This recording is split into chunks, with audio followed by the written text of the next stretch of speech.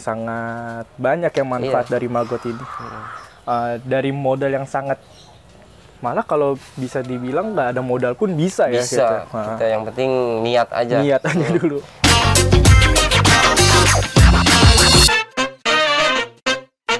Nah, ini ini telurnya nih Oh ini ada telur. Oh telur dari Ini ayam hasil ini. ayam KUB nih ini hasil telur dari ayam KUB ini terima kasih buat Sinarmas udah ngasih bantuan dana buat ngembangin ayam KUB sama maggot dan ini hasil produksinya di sini kandang sebelah Wih ada yang unik nih sebenarnya dari kandang ini. Oh. Ada yang unik nih. Nih Mang Chandra bisa dijelasin nggak ini apa nih? Oh ini mesin tetas. Hmm. Saya bikin dari box kulkas bekas. Jadi kita manfaatin sampah ya yang udah tidak Hmm. ada gunanya kita manfaatin. Jadi bikin mesin tetas. Ini juga saya otodidak sendiri. Sebenarnya cuman lihat-lihat di YouTube aja. Hmm. Tuh. Kalau awalnya yang saya tahu Mang Chandra mulai dari yang styrofoam seperti Iya, ini. Bisa ini mesin tetas statis. Oke. Nih awalnya dari yang seperti ini Ya. jadi yang seperti ini, yang kulkas. Ini mesin seropom ini. Iya, styrofoam. Seropom. Cuman udah enggak Udah nggak dipakai. Sekarang pindah ke kulkas semua. kulkas jadi supaya kapasitasnya lebih Hmm. banyak gitu ini hasil-hasil Hasilnya. ayam dari penetasan kulkas ini Nah ini yang masih kecil semua. iya Ini ber- berapa lama? apa Udah berapa lama ayamnya? yang ini Iya. ini umuran satu bulan Hmm. dan ini umuran dua bulan tuh Oh, tuh, besar juga. Ini usia satu minggu nih di bawah Bisa dilihat yang Iya. cili-cili ini. malah kedinginan dia cuacanya dingin. Cuacanya. iya ini yang usia satu minggu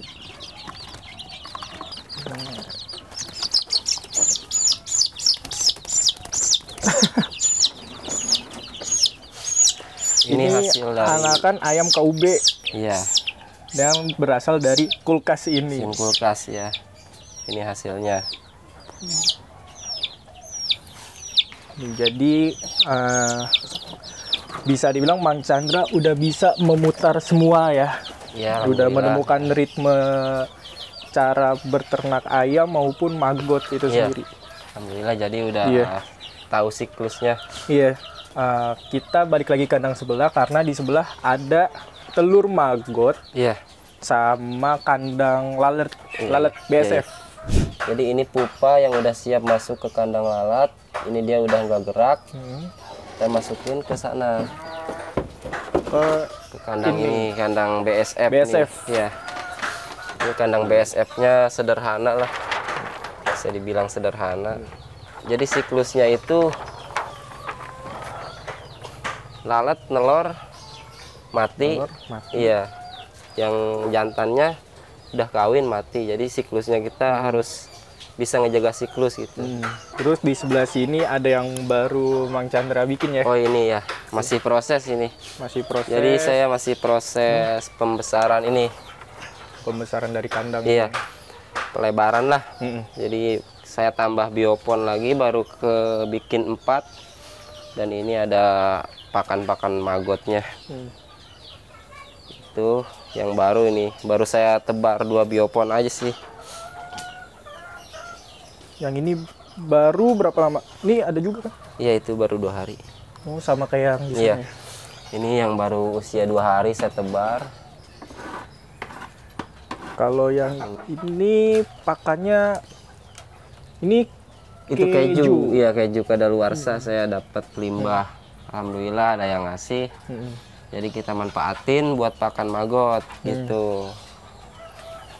Jadi Jadi maggot ini semua sampah organik bisa, bisa di- dimanfaatkan. iya, bisa dimanfaatkan dari mulai Bisa sayuran diurai iya. sama dia. dari mulai sayuran, buah-buahan sampai makanan-makanan yang expired bisa buat pakan maggot. Jadi kita nggak usah takut kekurangan pakan gitu. Hmm. Semua pasti ada terus. Pasti ya? ada ya. Pakai kotoran puyuh juga bisa dia. Hmm. Oh kayak yang sebelah ini Iya. Mang Chandra kalau nggak salah awalnya itu lebih untuk eh, kotoran ayam Iya, di sini untuk kan. mengurai kotoran mengurai ayam. kotoran ayam. Kalau sekarang saya udah menggunakan pakan organik, soalnya Pakan udah organik. ada link pakannya gitu. Pakannya, ha. Tinggal kita ambil, ambil aja gitu. Dari maggot ini banyak yang bisa dimanfaatkan. Semuanya nggak ada yang tersisa Iya, ya. nggak ada yang kebuang. Dari eh, panen magotnya, Iya. eh, bekas sampahnya pun dibilang apa kasgot. Kasgot, Kasgot. kasgotnya bisa buat Nah, pupuk. Itu bisa buat pupuk. Sangat bagus Mm. kalau buat pupuk organik ya. Sampai kalau nggak salah cangkang dari pupanya pun Iya, cangkang pupanya bisa buat pakan ayam. Hmm, Kita blender atau giling ya buat campuran kalsium gitu. Jadi nggak ada yang kebuang. hmm, Jadi bangkai lalat juga bisa kita manfaatkan. bangkai lalatnya Bangkai lalat itu buat pakan lele, buat Oh. ikan. Masih bisa, nggak ada yang kebuang mak. nggak ada yang kebuang. Iya. Wow. Ya dari magot buat ayam Hmm. gitu kan. Bangkai lalatnya buat ikan. Kasgotnya ya Kasgotnya buat, buat pertanian. tanaman. Iya, buat pertanian. Jadi nggak ada yang kebuang. Sangat banyak yang manfaat Iya. dari maggot ini. Eh, dari modal yang sangat malah kalau bisa dibilang nggak ada modal pun bisa, ya Bisa. gitu. Ah, Kita yang penting niat aja. niat aja dulu. Yang penting niat sama tekadnya aja lah. tekadnya Ya. aja karena ya kita namanya uh, pertanian mau peternakan ada yang namanya kegagalan juga ya Iya. iya pasti ada yang gagal kita harus belajar dari situ semua Iya.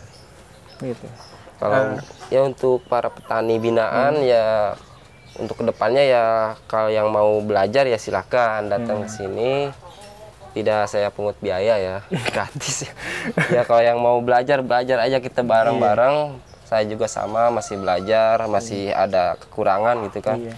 Kita belajar bareng aja buat budidaya maggot sama ayam KUB gitu. ayam KUB juga ya iya melihat udah udah hampir setahun ya Ya kalau udah hampir setahun Mang Chandra mengelola tempat ini Mm-mm. Eh, ya bisa kita lihat keuntungannya juga udah lumayan besar ya Iya lumayan, lah. lumayan Ya, besar buat udah ah, ah. buat menghidupin keluarga. ada yang udah buat jajan anak lah ada itu hasilnya. Alhamdulillah. alhamdulillah Eh, jadi eh, sekian aja video kali ini nih mengenai situasi di kandangnya Mang Chandra yang Iya. isinya maggot dan ayam KUB. Oke, jadi sekian video dari kami eh, penjelasan tentang ayam sedikit penjelasan tentang ayam KUB dan maggot. Eh, kami pamit undur diri. Salam, Salam hijau, hijau dan dan pantang pantang menyerah.